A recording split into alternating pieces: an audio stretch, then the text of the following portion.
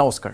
গাঁও চহৰ জিলাৰ খবৰ মই কৃপাঞ্চল ৰাজস্থানত চাদাতানচিক প্ৰথমবাৰৰ বাবে ৰয়েল চৌদি লেণ্ড ফ'ৰ্চৰ সৈতে একেলগে সামৰিক কচৰতত নামিছে ভাৰতীয় সেনা।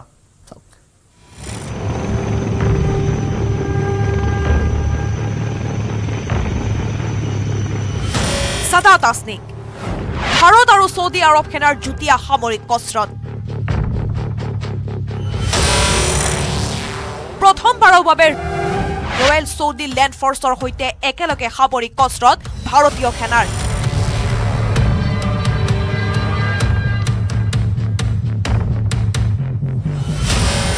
বিভিন্ন যুদ্ধ কৌশল শাৰীৰিক কচৰতত একেলগে ভাগ ললে দুই দেশৰ সেনা জোৱানে। ৰাজস্থানৰ মহাজনত বাৰদিনীয়াকৈ অনুষ্ঠিত হৈছে ছাদাত আছনি ঊনত্ৰিছ ফেব্ৰুৱাৰীৰ পৰা ন ফেব্ৰুৱাৰীলৈ বাৰদিনীয়াকৈ অনুষ্ঠিত হৈছে যুটীয়া সামৰিক কচৰৎ ভাৰতীয় আৰু চৌদি সেনাৰ পঞ্চল্লিছগৰাকী জোৱানে ভাগ লৈছে যুটীয়া সামৰিক কচৰতত দুটা পৰ্যায়ত হৈছে এই সামৰিক কচৰৎ প্ৰথম পৰ্যায়ত প্ৰতিকূল পৰিৱেশৰ ৰণকৌশল সম্বন্ধীয় প্ৰশিক্ষণ। দ্বিতীয় পৰ্যায়ত উচ্চ স্থানত শাৰীৰিক কচৰতৰ প্ৰশিক্ষণ। News desk report news eighteen Assam north east.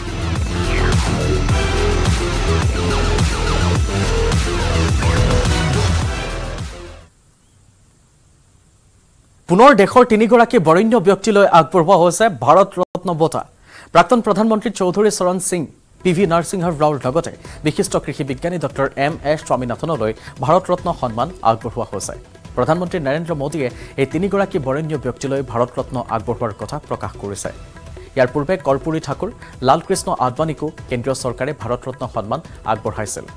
চলিত বছৰটোত পাঁচগৰাকীলৈ ভাৰত ৰত্ন সন্মান আগবঢ়োৱা হৈছে। ঊনৈছশ একানব্বৈ চনৰ পৰা ঊনৈছশ ছয়ানব্বৈ চনলৈ প্ৰধানমন্ত্ৰী আছিল নৰসিংহ ৰাও। ইয়াৰ পূৰ্বে আন কেইবাটাও গুৰুত্বপূৰ্ণ দপ্তৰৰ মন্ত্ৰী আছিল ৰাও। ঊনৈছশ ঊনাশীত দেশৰ প্ৰধানমন্ত্ৰী হৈছিল চৌধুৰী চৰণ সিং। আনহাতে ডক্টৰ এম এছ স্বামীনাথন এগৰাকী বিশিষ্ট কৃষি বিজ্ঞানী।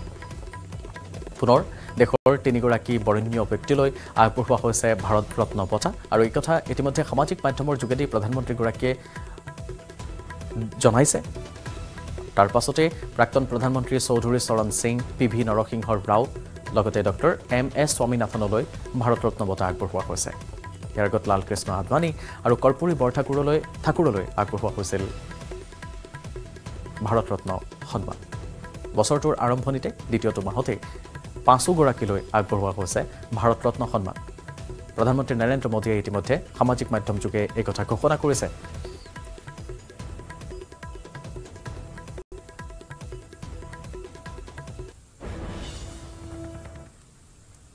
পাকিস্তানৰ নিৰ্বাচনত ব্যাপক অনিয়ম। লাহোৰ সমষ্টিত ভোটদান হোৱা মুঠ সংখ্যাতকৈ অধিক ভোট পাইছে মুছলিম লীগ নৱাজৰ প্ৰাৰ্থীয়ে। ভোটদান সাব্যস্ত হোৱা সংখ্যাতকৈ অধিক ভোট পোৱা তথ্যত চহী কৰি মুছলিম লীগ নৱাজৰ প্ৰাৰ্থীক জয়ী ঘোষণা কৰিছে নিৰ্বাচনৰ ৰিটাৰ্ণিং বিষয়াই। লাহোৰ সমষ্টিত মুঠ দুই লাখ তিৰানব্বৈ হাজাৰ ছশ তিৰানব্বৈগৰাকী ভোটদান হোৱাৰ বিপৰীতে গণনাত বৈধ হিচাপে ওলাইছে দুই লাখ চৌৰানব্বৈ হাজাৰ তিয়াল্লিছটা ভোট। নিৰ্বাচনী বিষয়াক ৰিগিঙৰ বাবে দায়ী ধমকিৰ দাবী ধমকি দিয়াৰো অভিযোগ উঠিছে। আৰু অভিযোগ উঠিছে নিৰ্বাচনৰ ফলাফল সলনি কৰাৰ বাবে নিৰ্বাচনী বিষয়াক দাবী ধমকি দিয়াৰ। নিশাৰ ভিতৰতে নিৰ্বাচনৰ ফলাফল মুছলিম লীগ নৱাজৰ পক্ষত নিবলৈ চেষ্টা কৰাৰ অভিযোগ তুলিছে ইমৰান খানৰ দল পাকিস্তান তেহৰিক ই ইনছাফৰ কৰ্মীয়ে। আনফালে নিৰ্বাচনত অনিয়ম সংঘটিত হোৱাৰ কথা স্বীকাৰ কৰিছে ৰিটাৰ্ণিং বিষয়াই। এনেকৈ পাকিস্তানৰ নিৰ্বাচনত এতিয়া ব্যাপক অনিয়ম হোৱাৰ অভিযোগ উত্থাপিত হৈছে সৰ্বত্ৰ লাহোৰ সমষ্টিত ভোটদান হোৱা মুঠ সংখ্যাতকৈ অধিক ভোট হৈছে মুছলিম লীগ নৱাজৰ প্ৰাৰ্থীৰ। আৰু ভোটদান সাব্যস্ত হোৱা সংখ্যাতকৈ অধিক ভোট পোৱা তথ্যত চহী কৰি মুছলিম লীগ নৱাজৰ প্ৰাৰ্থীক জয়ী ঘোষণা কৰিছে নিৰ্বাচনৰ ৰিটাৰ্ণিং বিষয়াই যাক লৈ উত্তপ্ত পৰিস্থিতিৰ সৃষ্টি হোৱা পৰিলক্ষিত হৈছে। আনফালে পাকিস্তানত বৃহস্পতিবাৰে হোৱা ভোটগ্ৰহণ সম্পূৰ্ণ হোৱাৰ ন ঘণ্টাৰ পাছতো ফলাফল ঘোষণা আৰম্ভ কৰা নাছিল। তাকো লৈ ক্ষোভিত হৈ পৰিছিল পাকিস্তানৰ তেহৰিক ই ইনছাফ দল। শেষ নিশা পাকিস্তান নিৰ্বাচন আয়োগে ভোট গণনা বিলম্ব হোৱাৰ বাবে পলিং বিষয়াক সকিয়নি দিছিল। আৰু শেহতীয়া খবৰ অনুসৰি ইমৰান খানৰ দল পাকিস্তান তেহৰিক ই ইনছাফ সমৰ্থিত। তেইছগৰাকী নিৰ্দলীয়ই জয়লাভ কৰাৰ বিপৰীতে বিলৱাল ভুট্টোৰ পাকিস্তান পিপলছ পাৰ্টীয়ে বাইছখন আসন লাভ কৰিছে। আনহাতে পাকিস্তান মুছলিম লীগ নৱাজে ওঠৰখন আসন। পাকিস্তান মুছলিম লীগ নৱাজৰ প্ৰাৰ্থী তথা প্ৰাক্তন প্ৰধানমন্ত্ৰী শ্বেহবাজ শ্বৰীফ লাহোৰৰ N A one twenty three সমষ্টিৰ পৰা জয়লাভ কৰিছে। আনফালে পাকিস্তানৰ নেশ্যনেল এছেম্বলিজ মুঠ তিনিশ ছয়ত্ৰিছখন আসন আছে। নেশ্যনেল এছেম্বলিত ইয়াৰ দুশ ছয়ষষ্ঠিখন আসনৰ বাবে নিৰ্বাচন অনুষ্ঠিত হয়। বাকী সত্তৰখন আসনৰ ষাঠিখন মহিলাৰ বাবে আৰু দহখন সংখ্যালঘুৰ বাবে সংৰক্ষিত। এই আসনসমূহ এছেম্বলিত থকা প্ৰতিনিধি অনুপাতে দলে মনোনীত কৰে। লক্ষণীয়ভাৱে প্ৰাক্তন প্ৰধানমন্ত্ৰী ইমৰান খান বৰ্তমান কাৰাগাৰত আছে। কেইবাটাও গোচৰত দোষী সাব্যস্ত হৈ কাৰাগাৰত থকা ইমৰান খানৰ দলটোৱে পাঁচখন আসনেৰে অগ্ৰগতি লাভ কৰাৰ পৰিপ্ৰেক্ষিতত উৎফুল্লিত হৈ পৰিছে দলটোৰ নেতা কৰ্মীসকল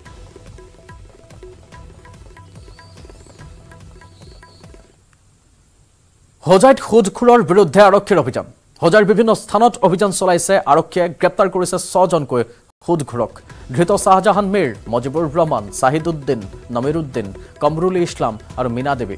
অপৰাধ অনুসন্ধান শাখাৰ অতিৰিক্ত আৰক্ষী অধীক্ষক পল্লৱ তামুলীৰ নেতৃত্বত চলিছে এয়া সুদখোৰ বিৰোধী অভিযান। দীৰ্ঘদিনৰ পৰা টকা সুদত দি ৰাইজক হাৰাশাস্তি কৰি অহাৰ অভিযোগ সুদখোৰ কেইজনৰ বিৰুদ্ধে।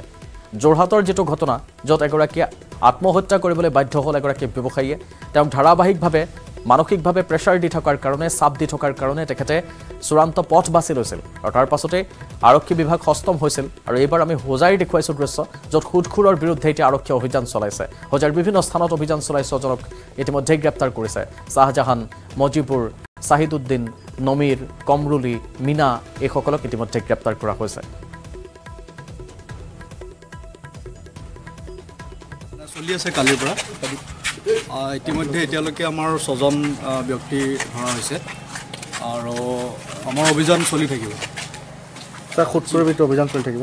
মানে যিসকল ব্যক্তিয়ে অবৈধভাৱে মানুহক পইচা ধাৰলৈ দি আৰু বহুত মানে অত্যাধিক হাৰত মানে সুৰৰ এক্সৰবিটেণ্ট ৰেটত মানে সুতত পইচা ধাৰলৈ দি আৰু যি বিভিন্ন ধৰণৰ হাৰাশাস্তি কৰি আছিলে বহু লোকক। আৰু তাৰ কাৰণে বিভিন্ন সময়ত আমি দেখিছোঁ যে বিভিন্ন ক্ৰাইমো সংঘটিত হৈছে আৰু মানুহ আত্মহত্যা কৰিবলৈও বাধ্য হৈ গৈছে বিভিন্ন মানে এনেকুৱা ধৰণৰ সুদখোৰৰ মানে হেৰিত প্ৰেছাৰত গতিকে আমাৰ এই অভিযান আমি আৰম্ভ কৰিছোঁ কালিৰ পৰা আৰু এইটো চলি থাকিব তাৰমানে। আমি এটা এটা হোজাই থানাত এটা গোচৰ ৰুজু কৰি আমি তদন্ত চলাই যাম। কিমানজন মানুহ আটক হ'ব ছাৰ তেনেকৈ আমি চলি আমাৰ এইটো চলি থাকিব। তেনেকুৱা ধৰণৰ আমি অবৈধভাৱে যিসকলে এনেকুৱা ধৰণৰ কাৰ্যত লিপ্ত হৈ আছে এনেকুৱা ধৰণৰ ব্যৱসায়ত গতিকে তেওঁলোকৰ বিৰুদ্ধে আমাৰ অভিযানসমূহ চলি থাকে নহয় চাওক আপোনাৰ এতিয়াতো গোটেইখিনি বেংকিং আমাৰ এটা ছিষ্টেম আছে এষ্টাব্লিছ ছিষ্টেম আছে। গতিকে এষ্টাব্লিছ ছিষ্টেম মতে আপোনাৰ চৰকাৰী যথেষ্ট বহুখিনি আঁচনি আছে। গতিকে আমি ভাবোঁ যে মই আমি বিচাৰিম যে ৰাইজক আহ্বান কৰিম যে তেওঁলোকে যাতে এনেকুৱা ধৰণৰ যিসকল লোন চাৰ্ক আছে যিসকল এনেকুৱা সুদখোৰ আছে তেওঁলোকৰ ফাণ্ডত নপৰাকৈ তেওঁলোকে যি আমাৰ চৰকাৰী ব্যৱস্থাসমূহ আছে চৰকাৰী আঁচনিসমূহৰ সুফল লওক। এজন দুৰ্দান্ত প্ৰতিভাশালী যুৱক। আপুনি কৰিব নোৱাৰা কাম তেওঁ কৰি দেখুৱাইছে। গহপুৰৰ এগৰাকী বিশেষভাৱে সক্ষম যুৱকে এতিয়া দৃষ্টি আকৰ্ষণ কৰিছে সকলোৰে। আপুনি মই হাতেৰে চলোৱা মোবাইল তেওঁ জিভাৰে চলায়।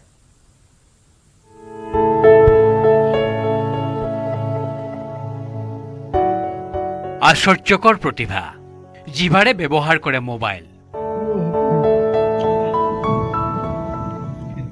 ওঠ আৰু জিভাৰে মোবাইলতে কৰে ভিডিঅ' এডিটিং।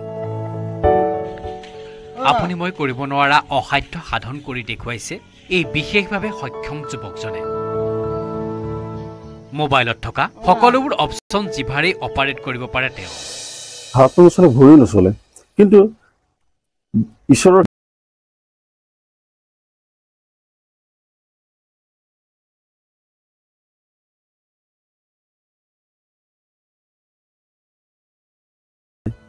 নাম হেমন্ত বৰা। একত্ৰিছ বছৰীয়া হেমন্ত বৰাৰ ঘৰ গহপুৰৰ বৰিগাঁৱত।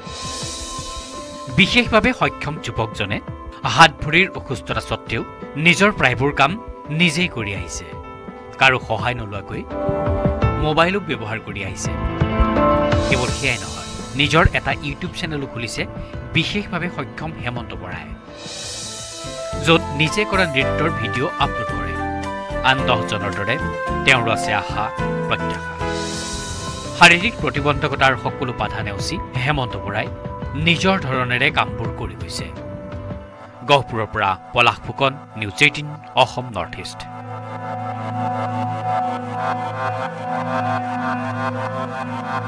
ভাৰতৰ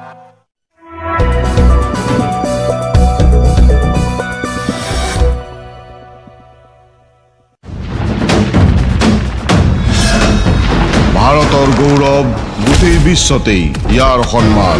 ষ্ট্ৰং মানে প্ৰধান শপতটো লৈছোঁ। আমি কনষ্টিটিউশ্যন যদি মানো তেতিয়াহ'লে ক- এই ইউ চি চি হওক যিয়ে বিল নকৰিব কনষ্টিটিউশ্যনটোতো হেৰি কৰি কেনে আমি বিলটো আহিব নোৱাৰিম। সেইটো কাৰণে এই কথাখিনি আমি অধ্যয়ন কৰিব লাগিব। অধ্যয়ন কৰি কেনে কাৰণ এনেকুৱা এটা বিল হ'ব নোৱাৰে যিটো বিল পিছতে হাইকোৰ্ট বা সুপ্ৰিম কোৰ্ট লৈ যাতে পায় এনেকুৱা বহুত বিল আছে যে হাইকোৰ্ট সুপ্ৰিম কোৰ্ট গৈছে যাৰ পিছতে বিলটো নাল এণ্ড বয়ড হৈ গৈছে।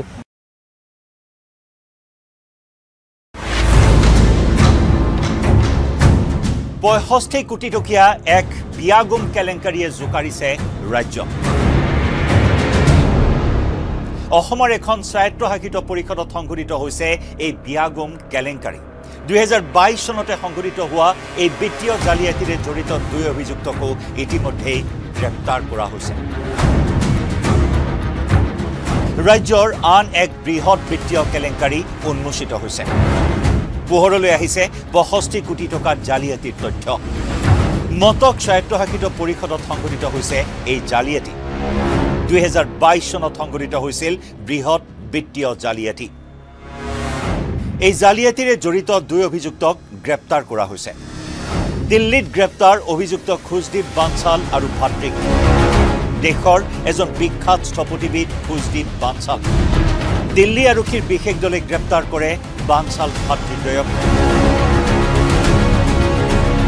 উল্লেখযোগ্য যে অসম আৰক্ষীয়ে এই দুই অভিযুক্তৰ সন্ধানত দীৰ্ঘদিনৰ পৰাই অভিযান চলাই আহিছিল।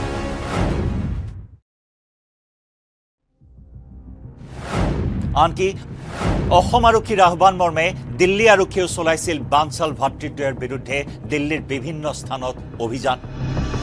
দক্ষিণ দিল্লীৰ সৈনিক ফাৰ্ম অঞ্চলত আত্মগোপন কৰি আছিল বানচাল ভাতৃদ্বয়ে অসম আৰক্ষীয়ে কেইবাদিনো বাহৰ পাতি আছিল দিল্লীত। দুই অভিযুক্ত এই বানচাল ভাতৃদ্বয়ক সাত ফেব্ৰুৱাৰীত আদালতৰ পৰা ট্ৰানজিট ৰিমাণ্ডত লোৱা হৈছে। কেৱল এই দুই অভিযুক্তই নহয় এই একেটা অভিযোগত একেটা কেলেংকাৰী এই একেটা জালিয়াতিত জড়িত আছে আন এগৰাকী ব্যক্তি। এই তৃতীয়জন অভিযুক্তৰ বিৰুদ্ধেও চলি আছে অভিযান। কেলেংকাৰীৰে জড়িত তৃতীয়জন লোক মধ্যপ্ৰদেশৰ। সংসদ ভৱনৰ পুথিভঁৰাল নিৰ্মাণৰ স্থপতি আছিল বানচাল আৰু এই দুই অভিযুক্তক গ্ৰেপ্তাৰে এই বিয়াগুম পঁয়ষষ্ঠি কোটি টকীয়া কেলেংকাৰীৰ তদন্ত প্ৰক্ৰিয়াই এটা নতুন মূৰ লাভ কৰাৰ সম্ভাৱনা আহি পৰিছে। এই দুই অভিযুক্তৰ মুখৰ পৰা আৰু বহুতৰে মুখা খোল খাব নেকি এই কেলেংকাৰীত জড়িত তাকে লৈ উত্থাপন হৈছে প্ৰশ্ন।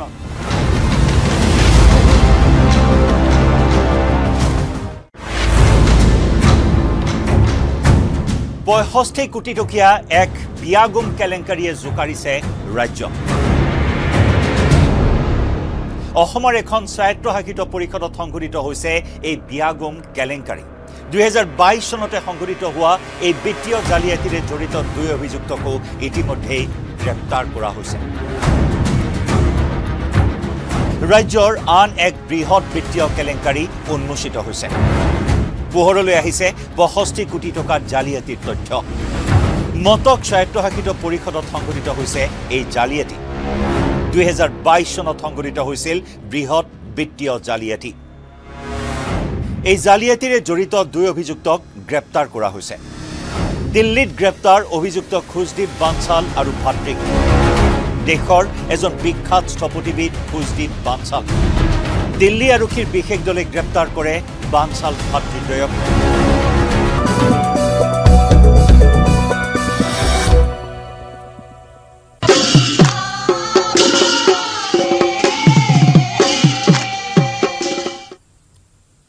ৰঙিয়াত আজিৰে পৰা আৰম্ভ হ'ল শ্ৰীমন্ত শংকৰদেৱ সংঘৰ তিৰানব্বৈ সংখ্যক অধিৱেশন। তিনিদিনীয়া বৰ্ণাঢ্য কাৰ্যসূচীৰে কামৰূপ জিলাৰ ৰঙিয়াৰ মৰাণজান ভৈৰাৰ হাতীখোলা সমন্বয় ক্ষেত্ৰত উত্তৰ পূৰ্বাঞ্চলৰ সৰ্ববৃহৎ সামাজিক সাংস্কৃতিক আৰু আধ্যাত্মিক অনুষ্ঠান শ্ৰীমন্ত শংকৰদেৱ সংঘৰ ৰঙিয়া অধিৱেশন অনুষ্ঠিত কৰা হৈছে। আৰু ৰঙিয়াৰ সতীৰ্থ সাংবাদিক এনামুল ইছলামে আমাক দেখুৱাব শেহতীয়া পৰিৱেশ। আমি পোনপটীয়া সম্প্ৰচাৰলৈ যাব বিচাৰিছোঁ এনামুলৰ ওচৰলৈ। এনামুল আপোনাৰ ওচৰলৈ আহিছোঁ। সবিস্তাৰে জানিম শেহতীয়া শ্ৰীমন্ত শংকৰদেৱ সংঘৰ অধিৱেশনস্থলী। ৰাতিপুৱাৰে পৰা ইয়াতে সহস্ৰাধিক লোকে ভিৰ কৰা পৰিলক্ষিত হৈছে। হৰিনাম ধবনিৰে মুখৰিত হৈছে সমগ্ৰ অঞ্চলজুৰি। মই কেমেৰা পেছনে দেখুৱাবলৈ অনুৰোধ জনাম। আচলতে তেওঁলোকে ৰাতিপুৱাৰ ভাগৰে পৰা এনেধৰণে তেওঁলোকে নাম কীৰ্তন কৰি থকা পৰিলক্ষিত হৈছে। অসমৰ চৌৱন্ন অসমৰ লগতে বহিৰাজ্যৰ পৰা অহা প্ৰায় চৌৱন্নখন জিলাৰ তেওঁলোকে লোকসকলে আহি এনেধৰণে তেওঁলোকে নাম কীৰ্তন কৰা পৰিলক্ষিত হৈছে।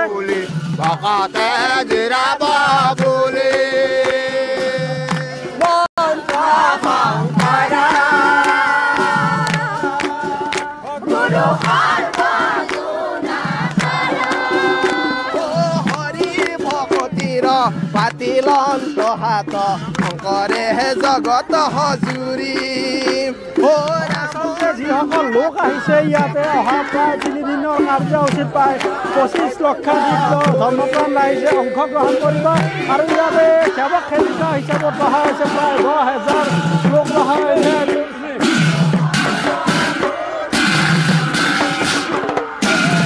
এনেধৰণে আহি তেওঁলোকে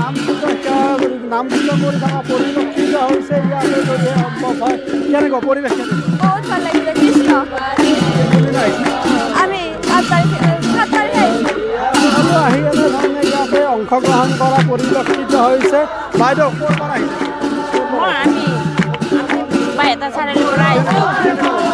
আমাৰ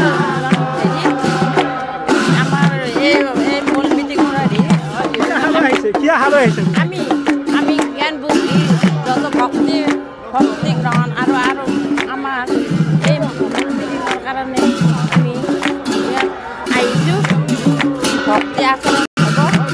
দূৰ দূৰণিৰ পৰা এনেধৰণে যিসকল আই আই বাপ বাপ আই আই বাপ আই বাপ আই বাপৰ লগতে বহু ধৰ্মপ্ৰাণ ৰাইজ আহি এনেধৰণে তেওঁলোকে ভিৰ কৰা পৰিলক্ষিত হৈছে কেনেকৈ ভাল লাগিছে বৰ সুন্দৰ লাগিছে ভকতৰ সেৱা কৰিবলৈ পাইছোঁ।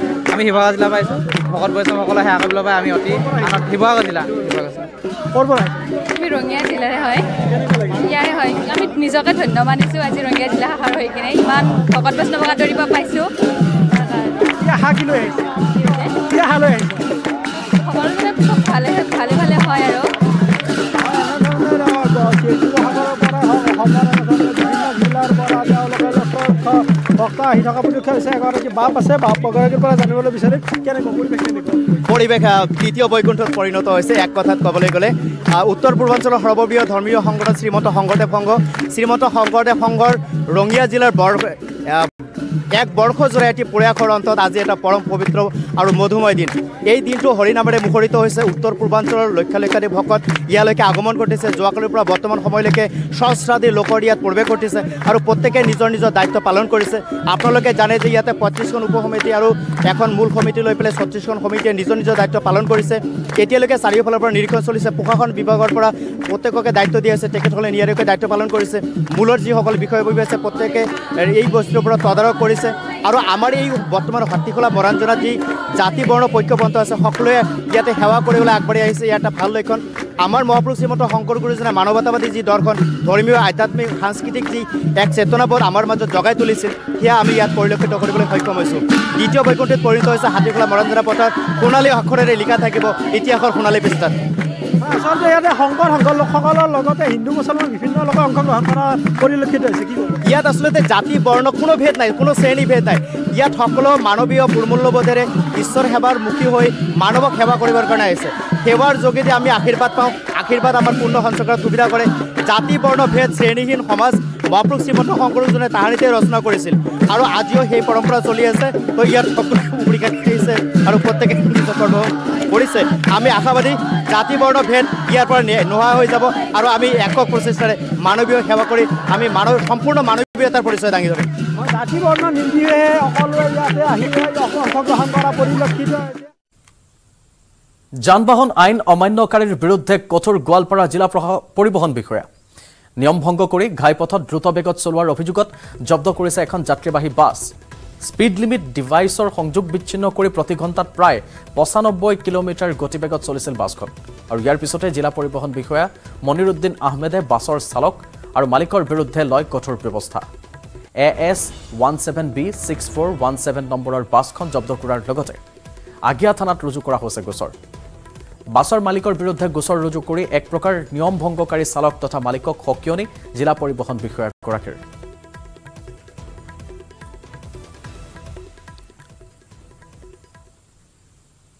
তামোলপুৰৰ ফায়াৰিং ৰেঞ্জত পুনৰ অঘটন।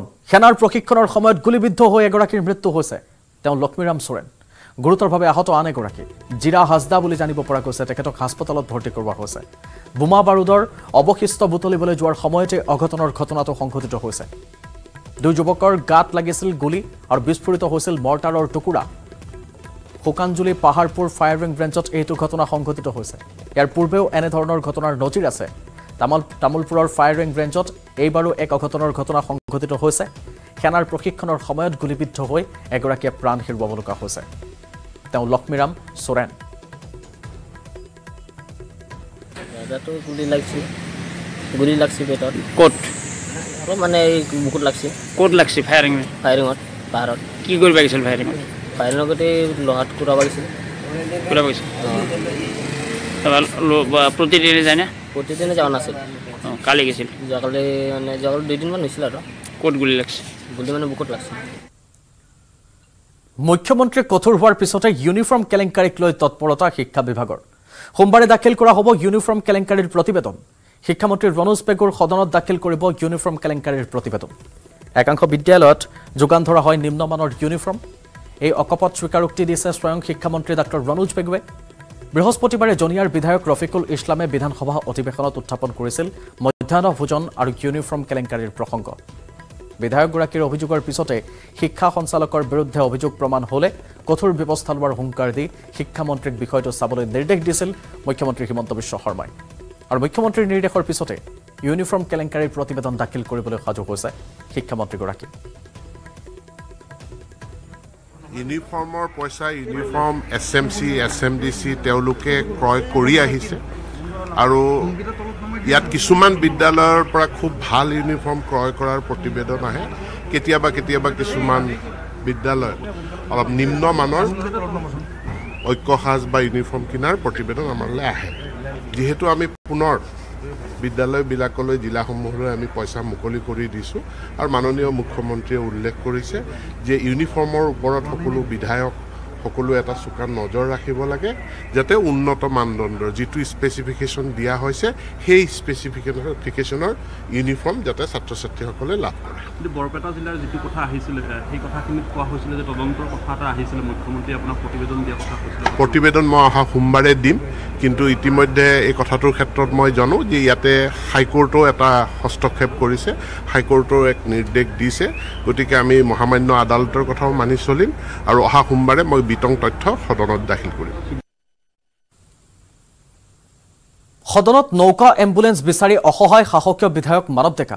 নৌকা এম্বুলেন্সৰ বাবে মন্ত্ৰী যোগেন মোহনক কাকুতি মিনতি কৰিছে স্বয়ং বিজেপি বিধায়কে। তিনি বছৰে নৌকা এম্বুলেন্স বিচাৰি বহু বিভাগৰ কাষ চাপিছিল বিজেপি বিধায়ক মানৱ ডেকা। কিন্তু আজি পৰ্যন্ত নৌকা এম্বুলেন্স নোপোৱাত সদনত ক্ষোভ উজাৰিছে বিজেপি বিধায়কগৰাকীয়ে। ভগৱানক বিচাৰিলেও তিনি বছৰত নৌকা এম্বুলেন্স পালোহেঁতেন বুলি তিৰ্যক মন্তব্য বিধায়ক মানৱ ডেকাৰ। সদনত বিধায়ক মানৱৰ ক্ষোভৰ পিছতে বিভাগৰ পৰা নৌকা এম্বুলেন্স দিয়াৰ নিয়ম নাই বুলি মন্তব্য কৰিলে মন্ত্ৰী যোগেন মোহনে। সদনত কাকুতি মিনতি কৰি নৌকা এম্বুলেন্সৰ ব্যৱস্থা কৰি দিবলৈ মন্ত্ৰী যোগেন মোহনক আহ্বান জনালে বিধায়ক মানৱ ডেকাই সমষ্টিত চাৰিখন পঞ্চায়ত আছে দ্বীপ সদৃশ যিটো ৰণোজ দাও জানে নৱদাও জানে। আৰু এই প্ৰশ্নটো মই কৰিব লাগিছিলে স্বাস্থ্য বিভাগক।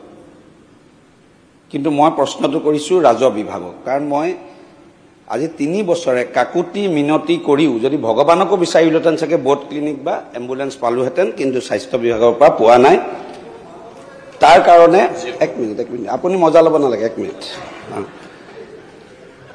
য'ত মই শেষত ৰাজহ বিভাগৰ শৰণ হৈছোঁ যে ৰাজহ বিভাগে এখন এম্বুলেন্স বোট এম্বুলেন্স বা ক্লিনিক দিব পাৰে নেকি? কাৰণ যেতিয়া টিভিত নিউজ ওলায় এইটো আমাৰো বেয়া লাগে। কাৰণ এই অঞ্চলবিলাক বাকী অঞ্চলত বানপানীটো দুমাহ হয় এই অঞ্চলত বাৰ মাহে বান- বানপানী সদৃশে হৈ থাকে আৰু বানপানী আৰু ইয়াৰ সৈতে সামৰিছোঁ গাঁও চহৰ জিলাৰ খবৰ। কিছু সময়ৰ পাছতে ৰশ্মিতাৰ সৈতে চাওক আবেলিৰ সংবাদ। নমস্কাৰ।